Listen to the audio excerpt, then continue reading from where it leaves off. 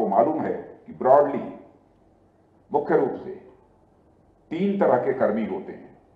एक जो arm forces से बिलोंग करते हैं और दूसरे वे जो बीआरओ के परमानेंट सिविलियन एम्प्लॉइज हैं और तीसरे वे जो बीआरओ से जुड़े कैजुअल पेड हमारे लेवलर्स बीआरओ के आर्म फोर्सेस में रिलेटेड एम्प्लॉइज और परमानेंट सिविलियन एम्प्लॉइज पर तो मैं प्रायः बात करता ही हूँ। पर आज मैं कैजुअल पेड लेबर्स पर अपनी कुछ बातें आप लोगों के सामने रखना चाहूँगा।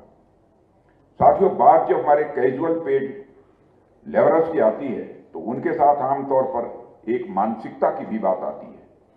मानसिकता यानी कुछ समय पहले स्थिति यह थी कि किसी भी सरकारी संगठन में जो लोग पक्की सरकारी नौकरी वाले हैं, उनको तो संगठन का पार्ट माना जाता था। लेकिन जो आउटसोर्सिंग से लिए जाते हैं, या जो कैजुअली काम कर रहे होते हैं, या फिर कॉन्ट्रैक्ट के बेस पर है, उन्हें उस संस्था का हिस्सा नहीं माना जाता था।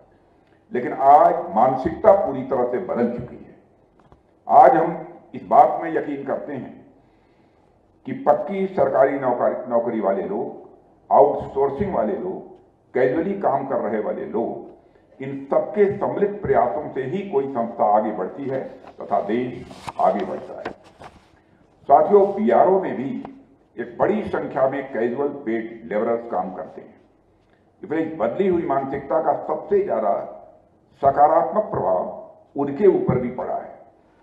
जब कोई व्यक्ति उत्तर प्रदेश से, बिहार से, झारखंड से, छत्तीसगढ़ से या फिर देश के किसी भी क्षेत्र से कैजुअल पेड लेबर के रूप में बीआरओ से आकर जुड़ता है तो उसे बिल्कुल नहीं लगना चाहिए कि वह पक्की सरकारी नौकरी वाला नहीं है। इसलिए वह इस संस्था का पार्ट नहीं है। ऐसा उसे नहीं लगना चाहिए। क्या वह गवर्नमेंट से परमानेंट सैलरी नहीं पाता तो उसे बीआरओ का पार्ट नहीं माना जाना चाहिए?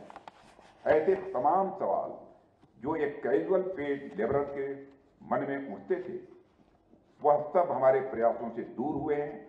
और आज वह भी खुद को गर्व से बीआरओ का अपने को पार्ट मानता है। वह कैजुअल पेड लेबरर इस बात में विश्वास करता है कि यह संस्था जितनी डीजी बीआरओ की है, उतनी ही एक कैजुअल पेड लेबरर की है। और अब वह सभी कर्मी इस बात का अनुभव करते हैं।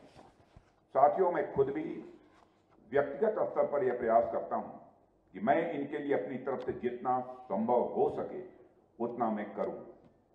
चाहे वह वर्तमान डीजीबीआरओ हों या फिर इनके पहले जो डीजीबीआरओ थे, ये लोग जब भी मुझसे मिले हैं तो मैं इनसे इस बारे में ज़रूर बात करता हूँ कि हमारी पंक्ति में खड़े जो आखिरी लोग हैं, जो कैजुअल पेड लेबरर्स हैं, उनके लिए हम क्या कर सकते हैं? साथियों, भारत सरकार हमारे बीआरओ कर्मियों की मेहनत से और वह लोग जिन परिस्थितियों में काम करते हैं, उन परिस्थितियों की कठिनाइयों से भली भांत अवगत है। इसलिए उनके जीवन की गुणवत्ता को बढ़ाने के लिए तथा उनके समग्र कल्याण सुनिश्चित करने के लिए कई महत्वपूर्ण कदम हम लोगों ने उठाए हैं। हाल ही में हमने सेना के समान ही बीआरओ के परमानेंट सिविलियन पर्सनल के लिए भी जोखिम और कठिनाई भत्ता सुनिश्चित किया है। हमने कैजुअल लेबरर्स की यक्स ग्रेसिया कंपनसेशन को दो लाख से बढ़ाकर पाँच लाख तक कर दिया। कुछ ही दिनों पहले मैंने बीआरओ के हमारे कैजुअल पेड लेबरर्स के लिए दस लाख रुपए के जीवन बीमा की व्यवस्था करने वाले प्रोविज़न को भी अभी हाल में ही हमने मंजूरी दे दी है। और मुझे पूरा विश्वास है कि सरकार द्वारा हमारे कर्मियों के लिए उठाए गए यह कदम बीआरओ में हमारे आर्म फोर्सेस के एम्प्लॉइज सिविलियन एम्प्लॉइज और कैजुअल पेड लेबरर्स सभी के मनोबल को ऊँचा करने में सहायक होंगे। साथियों, जो दूसरी बात मैं आपसे करना चाहता हूँ, वो बॉर्डर एरिया में इंफ्रास्ट्रक्चर को लेकर है। मैं इससे पहले भी कई बार अलग अलग मंचों से इस बात का ज़िक्र कर चुका हूँ कि पहले एक समय था जब सीमावर्ती इलाकों में इंफ्रास्ट्रक्चर डेवलपमेंट का को ज़्यादा महत्व नहीं दिया जाता था। उस समय सरकारें इस मानसिकता पर काम करती थी कि मैदानी इलाकों में रहने वाले लोग ही हमारे मुख्य धारा के लोग हैं।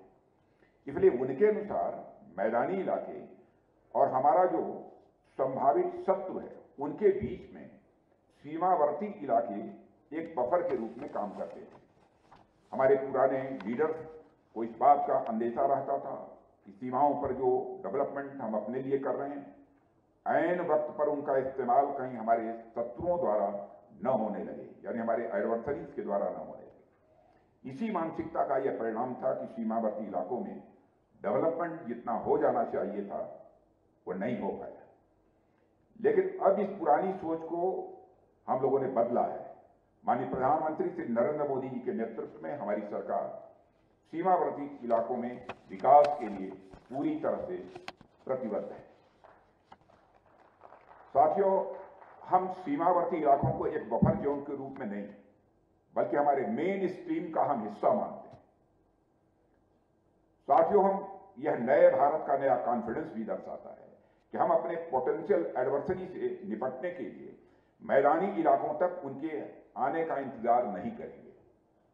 हम पहाड़ों पर ही ऐसा इंफ्रास्ट्रक्चर डेवलप करेंगे और पहाड़ी सीमा सीमा पर सेनाओं की ऐसी तैनाती करेंगे कि वह हमारे पहाड़ी लोगों की सुरक्षा का भी ध्यान रखे और हमारे किसी भी एडवर्सरी यानी शत्रु से निपटने में भी सेना के लिए पूरी तरह से वह सहायक भी हो।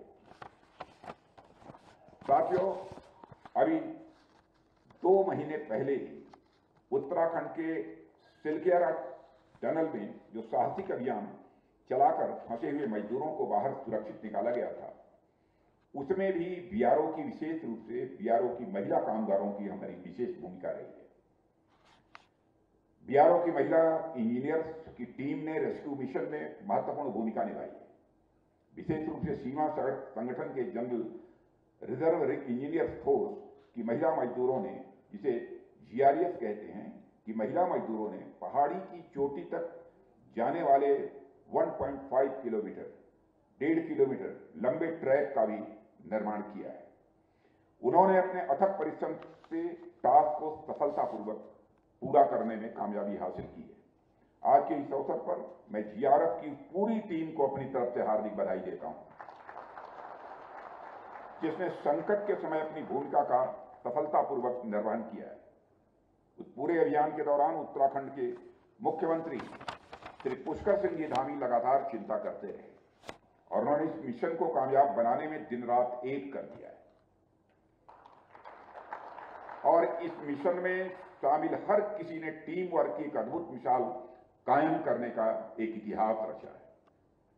साथियों, प्रधानमंत्री श्री नरेंद्र मोदी जी के नेतृत्व में हमारी सरकार की सोच ही अन्य सरकारों से काफ़ी हद तक अलग है। उनके लिए सीमावर्ती इलाके और वहाँ का इंफ्रास्ट्रक्चर मायने नहीं रखता था। क्योंकि उनके लिए बॉर्डर एरिया देश का अंतिम इलाका होता था। हमारी सोच है कि बॉर्डर एरिया हमारे देश का चेहरा है। इसलिए हम सीमाओं पर भी विश्व स्तरीय इंफ्रास्ट्रक्चर बना रहे हैं।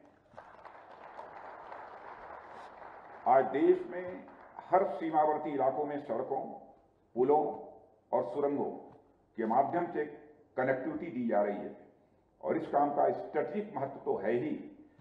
मगर इसका संबंध हमारे बॉर्डर एरिया में रहने वाले लोगों के विकास और कल्याण से भी जुड़ा हुआ है। साथियों, सीमा से सटे रहने वाले हमारे भाई बहन किसी सिपाही से कम नहीं है, यह हमारी सरकार की मान्यता है। फौजी वर्दी पहनकर देश की रक्षा करता है।